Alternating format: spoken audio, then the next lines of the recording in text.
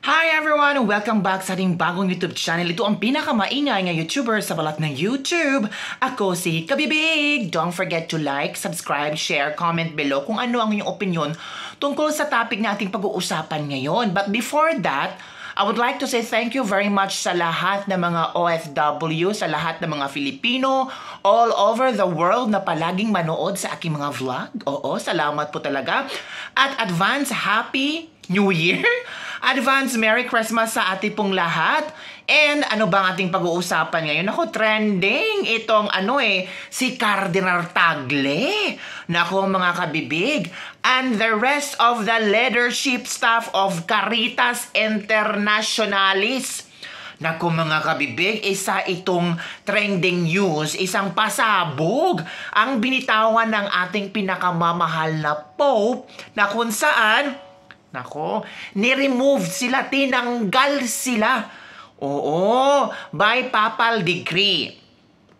It was found that there were cases ha, may mga kaso ng verbal abuse, favoritism, and general human resources mismanagement that had led staff to leave. Oh ha? Ito na ha? Akala natin, napaka-holy ang Caritas Internationalis kung makabaktikos kay BBM. Grabe ang mga sinasabi nila, magnanakaw, anak ng kriminal. Pero ngayon, alam mo, ang karma hindi talaga natutulog mga kabibig. ba? Sabi ng nabasa ko mga komento ba, yan na, lumabas na ang katotohanan. Simulat noon pa, yan na ang ginagawa ng mga pare. Ano? Hindi naman sa ganun lahat. Hindi naman lahat ng mga nagserbisyo sa simbahan ay yun talaga ang mga ginagawa nila. Pero hindi naman ta hindi naman to surprise, 'di ba? Open book na itong mga nang, nangyayari sa simbahan eh. Parang ano lang tayo, meron tayong malaking respeto sa kanila. Na kahit nakita nating mali-mali ang mga ginagawa nila, pilit nating tumahimik kasi ayaw nating magkaroon ng gulo between the government, between the state, and the religion. Pero ito na ha, ito na talaga.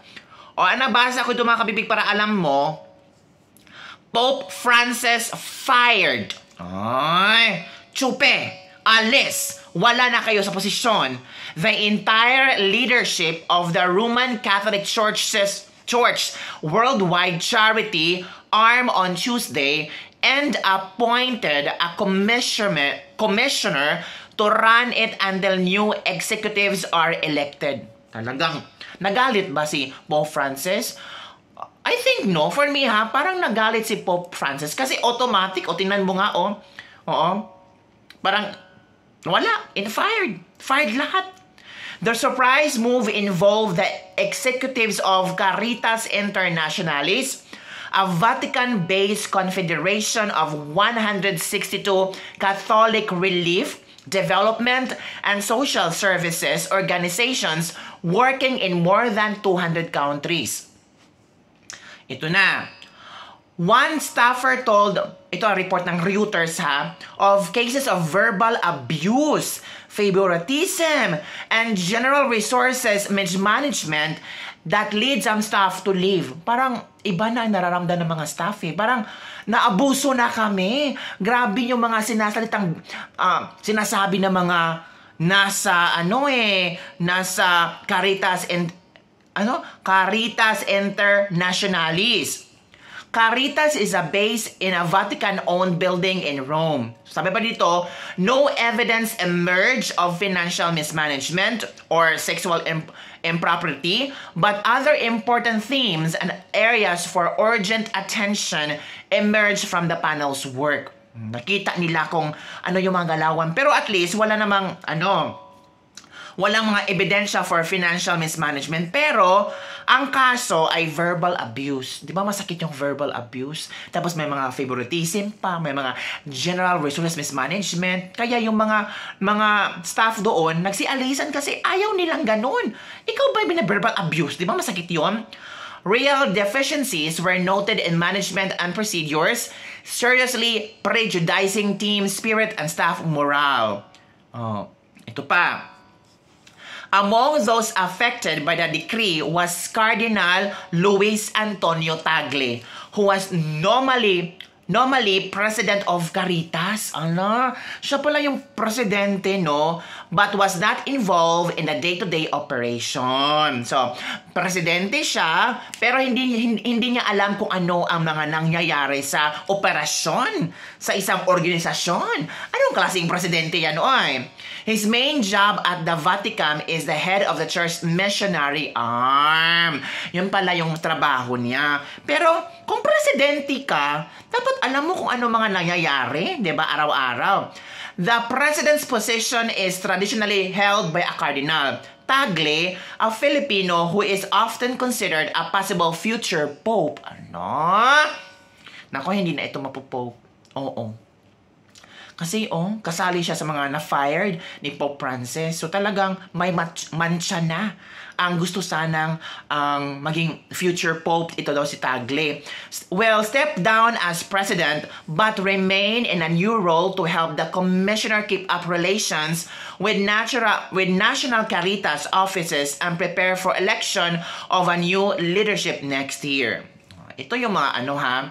Apart from Tagle and one priest, all members of the CI executive were lay people. Diba? At least naman, naging fair si ano, naging fair si Pope Francis na may problema nangyari, eh solusyonan. Pag hindi talaga na solusyonan, eh kailangang alisin. Oo, magbago ng ano, management. Kasi ang hirap naman yung itong mga ano, mga staff na makipag makipag-associate kung ayaw nila yung oh, ito, an, an, anong rason? Hmm.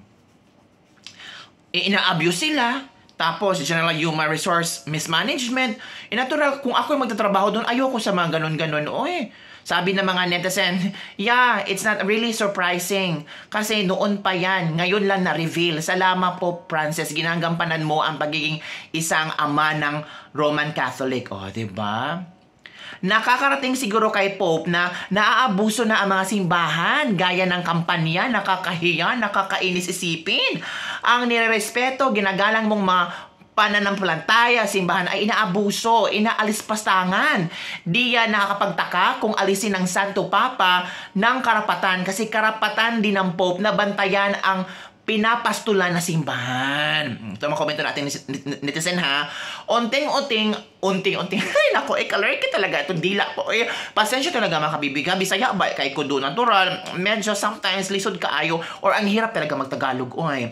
Unti-unting nahuhubad ang balatupa at nagiging oso. Wala talagang forever sa mundo. Mananaig pa rin ang katotohanan laban sa kasinungalingan. Ito pa ang ibang mga komento ng ating mga netizen, oh. Nakakapanghinayang siya sana ang susunod na Pope. Oh. It's about time to expose itong mga ginagawa sa Katoliko.